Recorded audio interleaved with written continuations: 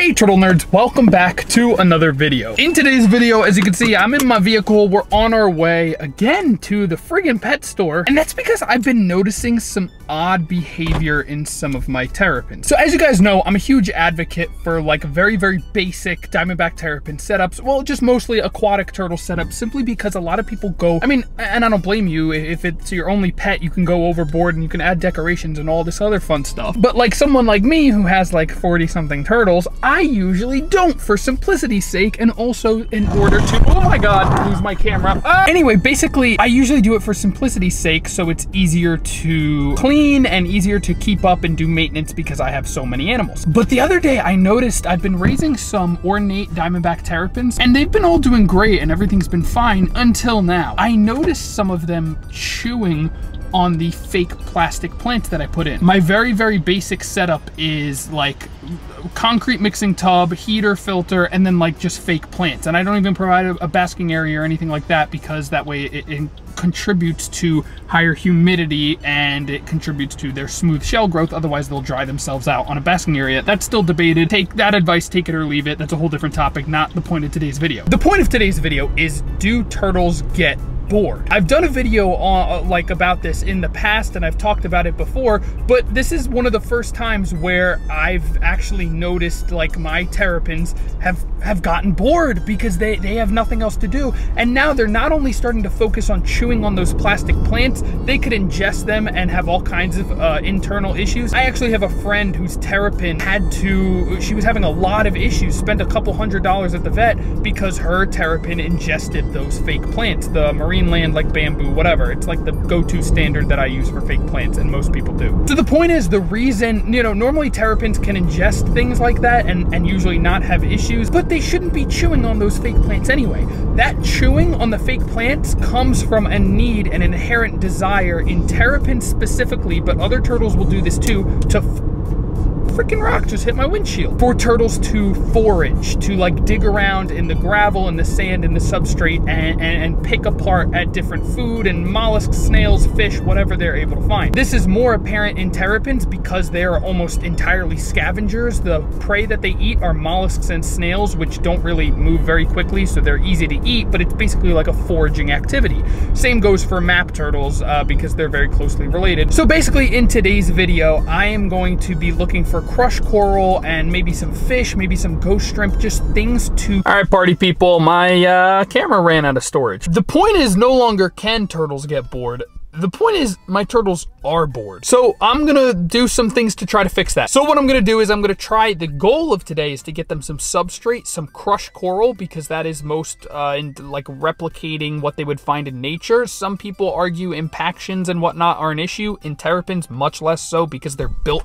for eating clams and corals, not coral, clams and shrimp and uh, uh um, snails and things, gastropods that have hard shells. So it actually helps like their digestive system. So some aragonite or which is just finer crushed coral or crushed coral preferably, I am hoping to find today for map turtles. Gravel's fine. If you're worried about impactions, use sand, but some type of substrate to allow them to dig and forage in might actually be helpful. If that doesn't work, then I'm thinking about getting a couple of different fish, maybe some feeder shrimp and whatnot, just some stuff to give them something to do. Terrapins in particular, I guess they, they like to chew stuff, so some rocks or some things just for them to munch on is what I'm hoping to find today.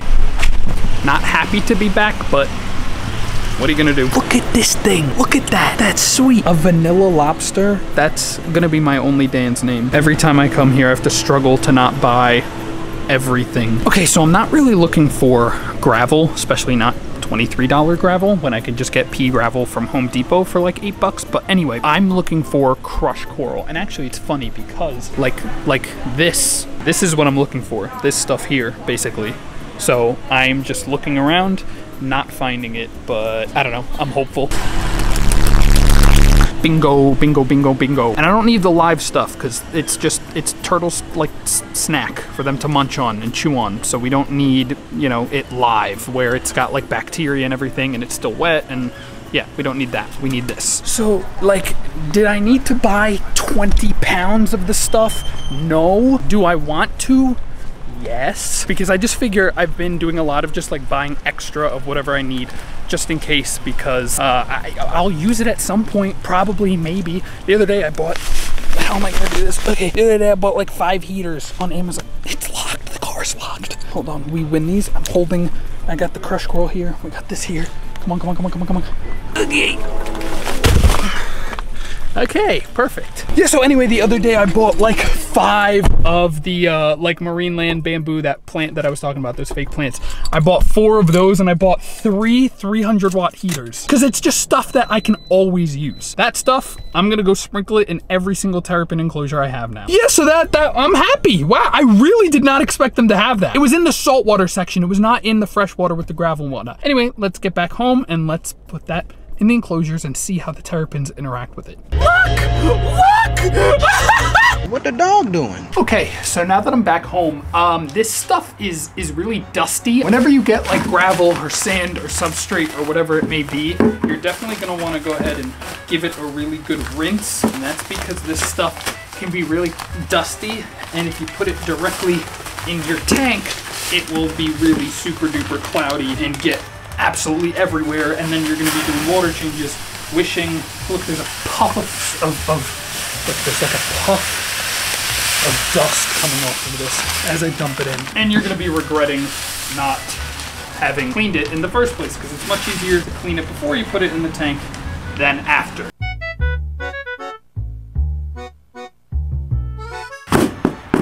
So guys, check this out. On the side of the bucket right here, see all this dust? this would just get all up in your tanks and whatnot. So uh, I'm gonna go ahead and rinse all this stuff out. So now what we do is I'm gonna take this bucket of crushed coral, uh, aragonite. I'm going to just rinse it, just keep filling and, and draining out the bucket. I've done this before. I'm just gonna do that a couple times till it runs clear and then put it in all the enclosures.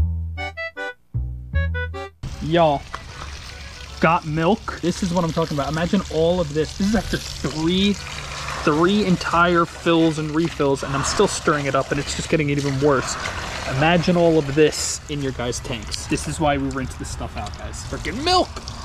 So now that this stuff is washed, it's running clear generally, I'm gonna take a couple cupfuls and toss it in this enclosure with the ornates and this enclosure with the flipper babies. I'm not gonna put it in with these little ornates. These ones, if you guys don't know, are available on my Patreon. If you hit the link right up over here, you get to support me and the channel and whatnot. And when I have little baby turtles available, I only ever sell turtles either produced by me or from somebody that I know, that I trust, that are true captive born, you know, terrapins. So consider hitting the link up there and checking that out. Hi little boogers, but I'm not gonna put any in here. Maybe a cupful if I want to, we'll see. Anyway, I'm gonna get started putting it in the enclosures.